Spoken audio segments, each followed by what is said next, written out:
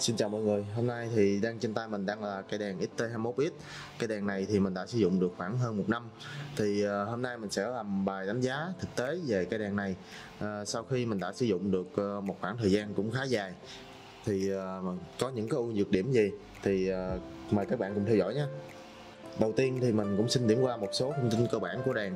Thì cái đèn này sử dụng một bóng battery SHB 70.2B2 Có nhiệt màu là 6500K à, Cái đèn này thì có tổng cộng là 7 chế độ Trong đó có 7, 5 chế độ sáng và hai chế độ chớp. À, Tầm chiếu xa theo hãng công bố là 316m Và sử dụng một pin ờ, 21 2170 đây là pin 2170 của cái đèn. Một pin hãng của đèn. Thì pin hãng của đèn sẽ có mặt bảo vệ nó sẽ dài hơn một chút xíu cục này thì ờ, 4 ngàn ờ, 4 ngàn rưỡi cho khoảng ờ, 4 ngàn 8 còn pin hãng thì 5 ngàn. Nên uh, lựa chọn cái dòng xả cao để mình có thể sử dụng hết công suất của đèn. Thì nếu mà dòng xả thấp để vô cây đèn này á, thì nó sẽ không có sáng không có turbo được hoặc là nó turbo chỉ khoảng vài giây thôi. Đó thì mọi người uh, chú ý cái phần pin này nha về phần cảm giác cầm nắm thì mình đánh giá cái đèn này rất là cao ở phần uh, gia công. Thì uh, những cái phần gia công này thì nó gia công rất là sắc không có phần gia công thừa. Uh, những cái đường cắt này rất là sắc. Thì uh, đây là tình trạng sau một năm sử dụng của cái đèn mình. Thì các như các bạn có thể thấy là nó sẽ bị chày ở một số cái phần nhô ra nè. Đó đây mình sử dụng cái đèn này rất là nhiều trong những cái dịp cuối tuần những cái dịp mà đi uh, cắm trại của mình về phần kính bảo vệ và ốp phủ thì mà sau một năm thì mình chưa thấy cái hiện tượng là bông ốp ờ, có tin này. Thì ờ, mình thấy nó gia công ok, tốt. Về phần gia công thân đèn thì ờ, có nhiều bạn không đánh giá cao. Cái thiết kế mà có cái cụm sạc thân thế này thì theo mình sử dụng thì cái sạc thân này cũng không phải là một cái vấn đề đối với mình. Tại vì mình, hồi đó giờ mình không có sử dụng cái sạc thân này để mình sạc trong cái thân đèn này. Tại vì mình có cái bốt sạc rồi. Nhưng mà cái này cũng có cái ưu điểm là khi mình đi rừng hoặc là đi tour, nếu mà mình không có đem cái bóc sạc thì mình có thể sử dụng cái sạc dự phòng của mình hoặc là cái cục sạc điện thoại để mình sử dụng sạc cho đèn. Sạc thân này theo hãng công bố thì dòng sạc tối đa khoảng 2 A nhưng mà thực tế mình đo được khoảng 1.5 đến khoảng 1.6 thì thời gian sạc thực tế để đầy được cục pin thì tầm khoảng 4 tiếng, tầm khoảng 3 tiếng rưỡi tới khoảng 4 tiếng cho cái ờ, cục pin này một điểm mình không thích ở cây đèn này là công tắc thân. Công tắc thân này thì mình mua đợt đầu ở shop uh, Shadow.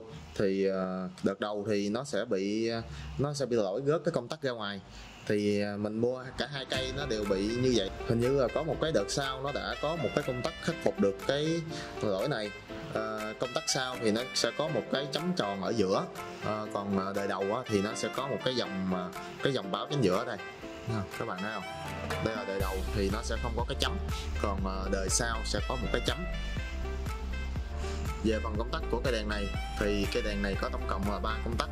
Và mình rất là đánh giá cao cái công tắc đuôi của cái đèn này. Nó cho phép mình xử lý rất là nhanh, những cái tình huống rất là khó. Chẳng hạn như là trong ban đêm thì thay vì mình phải mò mẫm, mình xoay xoay cái cây này để mình kiếm được cái công tắc thân thì các bạn có thể nhấn cái công tắc này. Đây, công tắc này công tắc tắt mở on ốp và công tắc này là công tắc tắt chiến công tắc này nó sẽ chớp 4.000 lumen, gần như là tức thời. Một số bạn nói cái đèn này bị lỗi sạc thân, thì ờ, mình chưa thấy cái ờ, hiện tượng đó trên cái cái đèn của mình. Ờ, và cái sạc thân này thì mình tương đối cũng ít khi sử dụng, tại vì mình toàn là sạc ngoài không à. Đó thì um, lỗi thứ hai là các bạn nói công tắc đuôi nó bị kẹt nhưng mà mình cũng chưa tưởng tượng được là nó kẹt là kẹt làm sao. Tại vì à, mình sử dụng thì mình không thấy.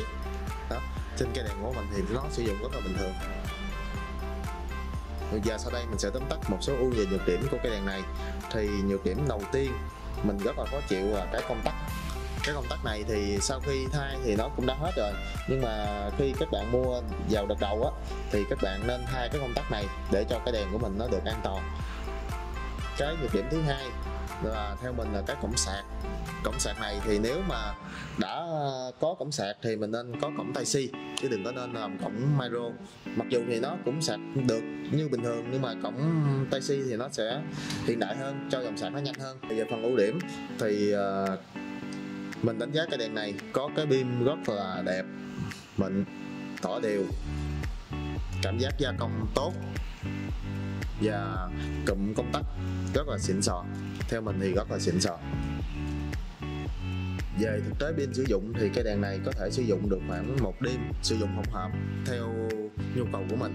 Thì uh, mình sử dụng cho nó trong những dịp cắm trại đêm hoặc là đi biển thì nó rất là ok. Giờ sau đây thì mình sẽ quay một số cái uh, đoạn clip thực tế của cái đèn này để các bạn có thể đánh giá được cái pin của nó về độ rộng độ xa cũng như là cái thực tế của nó thi ra môi trường là thế nào.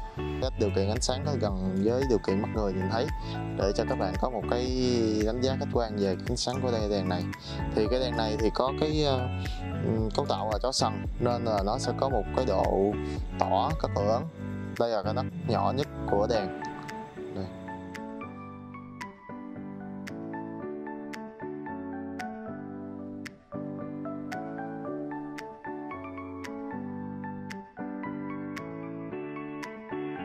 Cái ờ, cái nắp nhỏ nhất này thì mình có thể sử dụng trong những cái hoạt động hàng ngày những hoạt động uh, gần nhà những hoạt động không cần ánh sáng cao quá.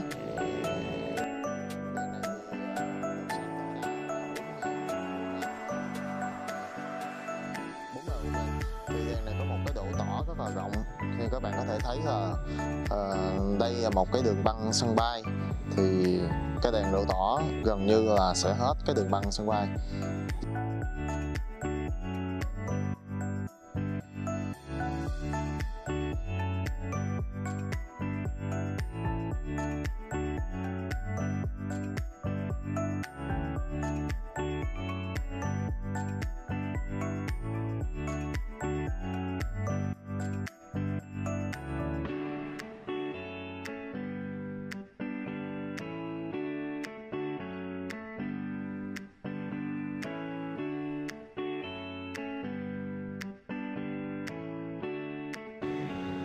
ở cái khoảng cách này thì khoảng cách mình đang đang uh, khoảng cách mình đang đứng là khoảng tầm khoảng 20 mét tầm khoảng 15 mét.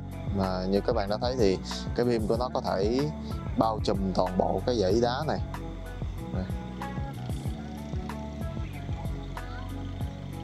Thời gian mở turbo của cái đèn này tầm khoảng 30 giây tới khoảng 1 phút 30 giây tùy theo nhiệt độ của đầu đèn hoặc là uh, pin còn áp hay không đây là ánh sáng đục bô của đèn. Thì đèn này có độ tỏ rất là cao. Ánh sáng đục bô thì có thể bao trùm toàn bộ cái đường băng. Đây là đường băng của sân bay cũ. Với nấc bô thì mình có thể uh, soi những vật thể xa tầm khoảng 300m đây là điều kiện ánh sáng thực tế. Với nấc thứ hai thì mình có thể sử dụng ở điều kiện khoảng một khoảng 200 200 150 tới khoảng 200 mét là mình có thể nhìn thấy rõ. Thì nắp thứ ba nắp thứ ba này thì uh, nhìn thấy rõ vật ở những cái khoảng cách khoảng 50 mét trở xuống. Đây là chế độ chớp. Chế độ chớp này thì rất là mạnh nó sáng tới khoảng 4.000 lumen theo khoảng công bố là 4.000 lumen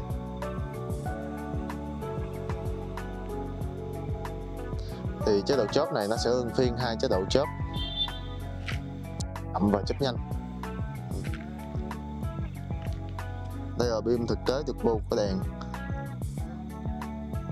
Từ kiện thực tế thì mình có thể sử dụng ở khoảng cách khoảng 300m pin rất là rộng và xa.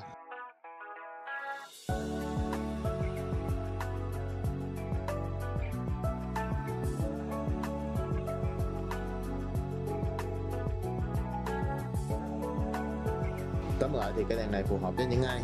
Thì cái đèn này theo mình nó sẽ phù hợp với những người cần ánh sáng rộng, có thể bao quát được môi trường xung quanh. Như là mình đi à, cắm trại, hoặc là đi ra ngoài vào ban đêm, hoặc là những cái à, đội cứu hộ à, công an, bảo vệ thì sử dụng cái đèn này, rất là ok đây là các chia sẻ khi mình sử dụng thực tế cây đèn này. Thì nếu mà các bạn có thắc mắc hoặc là có câu hỏi thì các bạn có thể để ở phần comment. Mình sẽ cố gắng giải đáp các bạn trong thời gian sớm nhất.